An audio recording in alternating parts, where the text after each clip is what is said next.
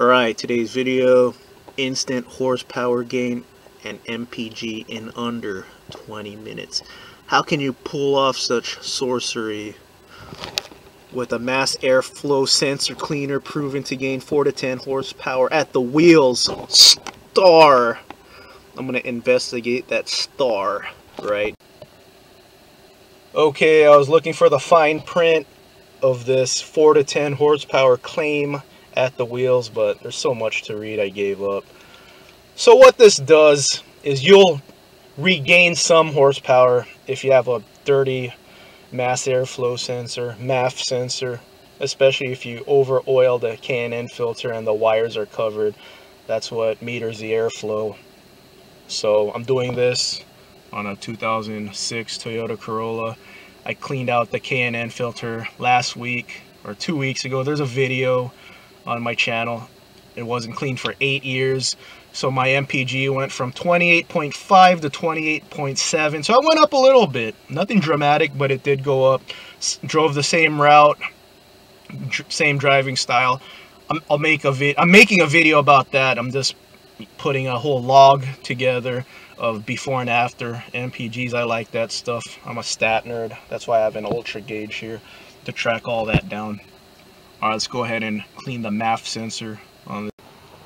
Okay, this is how you locate your MAF sensor. Find the throttle body or, or air box. That's the easy way to do it. Find the air box, find the throttle body, and go up, and you'll see something that looks like this, little uh, squarish device. On a lot of cards, it's going to be a Torx bit. On this card, it's a simple Phillips head, so this will come right off. Okay, here's the MAF sensor. I don't know if you could tell, but this side's really dirty. So this is the side where the air's really coming in, and this side you could still see silver. I don't know if you're going to see that on camera, but yeah, it's still silver. This side isn't, so yeah, definitely could use a cleaning.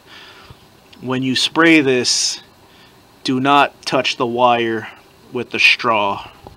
Just spray it spray it really good but don't touch that wire. You you're gonna damage it if you touch it. So just spray it really good both sides.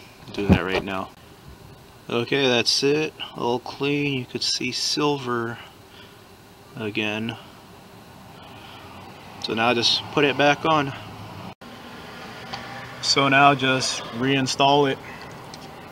Goes in to the top up here and just screw it back in good to go. Okay, all set. So cleaning the filter got me an extra 0.2. I feel the fuel light came on this car at 305 and then with this cleaned the next uh, cycle the fuel light didn't come out come on until 318 miles so I got an extra 13 miles out of the tank it's something so let's see if this gets me any further. So 318 is the number to beat before the fuel light comes on. And this is all going to be in a different video. I'm just chipping away at it, finding MPG in a 06 Corolla with 178,000 miles I think it has.